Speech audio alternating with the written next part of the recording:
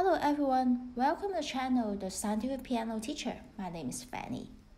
Today I'm going to talk about the last element in this series, which is mordent.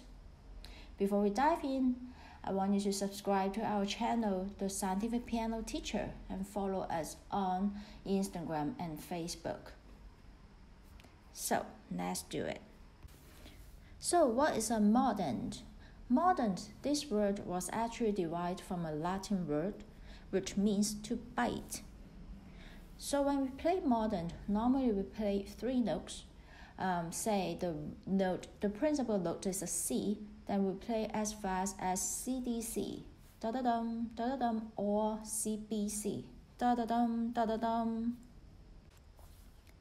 So the one that I just sang, CBC, in which the principal note was higher than the labeling note.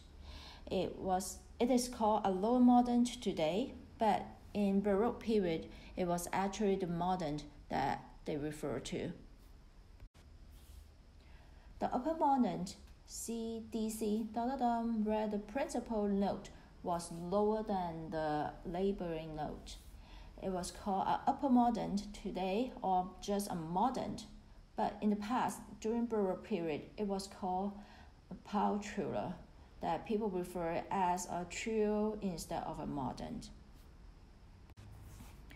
I actually think this part of history is very well flowing, especially when you play some Baroque pieces. Knowing this part of history will really help you to interpret the elements by not just uh, reading the editorial suggestion, but you can create your own or you can interpret your own element ornamentation to fit into the music. And now I'm going to show you this table, which is Bach ornament, ornament table. And uh, this table it has like from A to R and smooth and so on. So it has a lot of different example of using the trill, a trill plus a turn, and then later a mordent and etc. But just from looking at the from A to D, the A which is the normal trill, again to review this, a trill we will start our note to above the principal note. But sometimes, mm, if we look at C, which start which is with a lower prefix, that means we will start the note with a lower note, I mean a note below the principal note. So particularly related to mordent and to this topic today is this the bottom section of the table from N to U. So the N is the trill and O is the mordent. So when uh, this table is put like next to each other that you can see very clearly the the difference between a trill and mordent. So the one difference is you will start your trill uh, note above the principal note, while you will start on the principal note in a mordent. And the mordent here in this table is refer to refers to the lower mordent. And from O to R, I want you to pay attention to the last one, which is R, that mordent in and inner part.